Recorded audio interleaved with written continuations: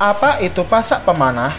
Pasak pemanah atau dalam bahasa Inggris disebut the archer stake adalah pasak pertahanan anti kavaleri yang mirip dengan pagar Cheval de Vries dan Ranjaukal Troops. Peralatan tempur ini pertama kali dipakai oleh militer Kesultanan Ottoman Turki dalam pertempuran Nikopolis pada 1396 Masehi dalam melawan aliansi pasukan perang salib di wilayah Nikopolis.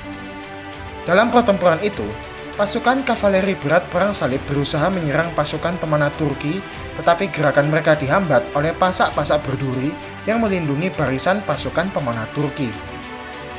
Taktik dan senjata tersebut kemudian dipakai oleh militer kerajaan Inggris, di mana mereka membuat pasak pertahanan untuk melindungi barisan pemanah busur panjang mereka ketika bertempur.